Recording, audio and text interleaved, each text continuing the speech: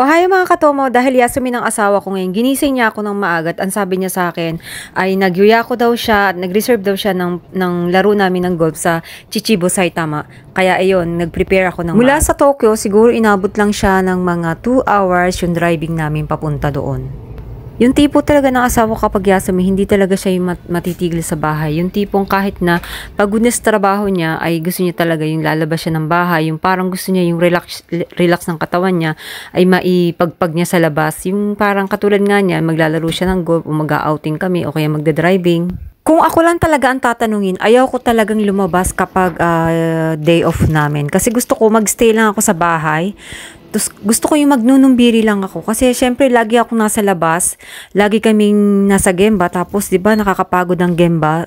Uh, para ka talagang ano eh, lalaking lalaki talaga yung pantrabaho mo. Kaya gustong gusto ko na magpahinga. Pero itong asawa ko, hindi mo talaga mapapatigil sa bahay. Ang katwira niya, um, sayang daw ang pahinga. Ibig niya sabihin, parang sayang yung oras ano yung gusto niyang i gawin yung gusto niyang gawin na habang malakas pa siya, habang kaya pa niyang ikilos, gagawin niya. Parang yun yung kanggay-kata niya, yung iniisip niya. Sa bagay, naiisip ko na rin yun dito eh. Kasi pag sa Japan ka talaga nandito, kasi nagtatrabaho ka talaga dito, yung puro trabaho na lang ang ginagawa mo, parang hindi mo na kayang libangin yung sa sarili mo sa sobrang uh, trabaho ng trabaho. Kaya siguro yung mga hapon talaga, nag spend sila ng time doon sa gusto nilang gawin, sa mga shumi nila o kaya mga hobby nila, mga sports, kahit ano. Sa totoo lang, 16 years na akong naglalaro ng golf. Uh, niregaluhan niya ako, 30 years old ako noon. Tapos ngayon, uh, ah, 46 years old na ako. Kaya so, mga, yun nga, mga 16 years na nga ako. Yun ang ginawa niya sa akin dahil nga siguro gusto niya na may companion siya kapag naglalaro siya. At isa na rin nga yun na kaming habang um, tatanda na kami ay iniisip niya na meron kaming pagkalibangan ba. Kasi ang mga bata dito kapag naglakihan, nagiging independent sa buhay, naiiwan na lang yung mga nanay at tatay. So parang samishiba sila, yung parang anlungkot-lungkot anlungkot-lungkot ng buhay nila kapag uh, wala talagang ginagawa na pagkakalibangan. Kaya ang ginawa rin niya doon sa mga anak ko, binilhan din niya ng mga golf set bag para kumbaga uh, makalaro din namin yung companion sa mga uh, anak, kahit na malalaki na sila o kaya yung kahit wala na sila dito, magagamit nila yung sports na yun. Kasi nga, di ba sa Japan naman, ang mga Hapon, kapag uh, uh, may, yung mga sacho mo o kaya yung mga kasamahan mo sa trabaho, ini-invite ka na maglaro kayo ng golf, parang ano, ano magagamit mo, di ba?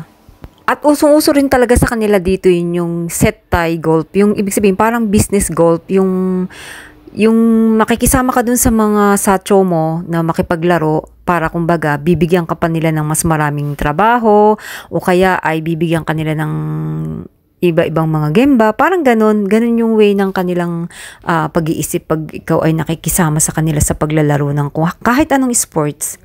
Ang style kasi ng mga Hapon, yung iba, kapag merong sila mga business dealing na ginagawa, yung parang aakitin kanilang mag-golf o tapos after noon, parang pag-uusapan ninyo yung mga ano pang dapat natin mga gawin ng mga project. Parang mga ganun yung style nila. Uwa nang kachutumigip po, imitay na no.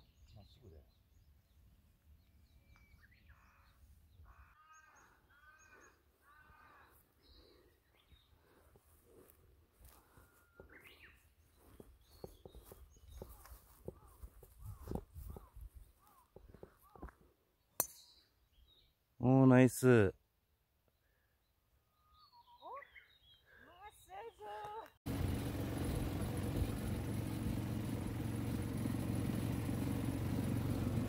Ang laking panghinayang ko kung alam ko lang talaga nung mag-YouTube tsaka mag-Facebook ano, sana noong ko pa ginawa mag-upload ng mga video.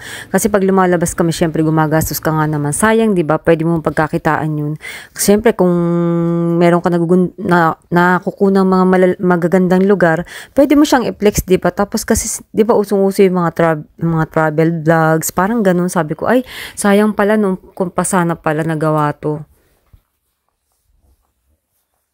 Oh, sigoy, kire. Dati kasi hindi ko ginagawa yun kasi ang hirap-hirap magbitbit ng mga camera, tapos yung mga gagamitin mo.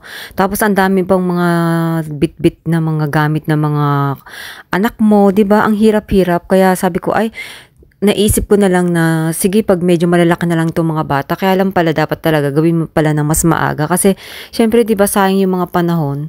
Tsaka gawin niyo yung ano yung alam niyo kaya ng budget niyo na hindi kayo gagastos ng malaki. Tsaka yung dapat talaga yung passion niyo yung gawin niyo yung hilig niyo para hindi kayo magsawa at mas maganda talaga, i-recommend ko sa inyo, ang video vlog ang gawin nyo. Kasi kung sa picture lang talaga, hindi siya masyadong uh, maganda. Okay naman ang picture pa sa souvenir, pero yung video vlog kasi, mas uh, mai-enjoy, makapanood yung mga tao. Tapos, makikita mo talaga yung mga lugar na magaganda sa, sa camera, ba sa video.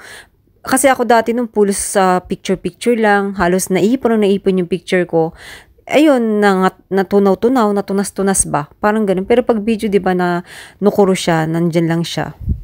At ayan, tapos na kami maglaro. Ito ang best score ko ngayong taong ito ay 95 uh, score. Tapos yung ang husband ko ay 94. So, one one point lang yung gap namin. Kaya, yan. Ito yung masasabi ko talaga na the best score ko ngayong taong ito. Maraming salamat nga pala sa panonood ngayon, araw na to. At I hope na ma-enjoy nyo ang aking susunod na gagawin vlog. See you on my next one. Bye! Follow for more!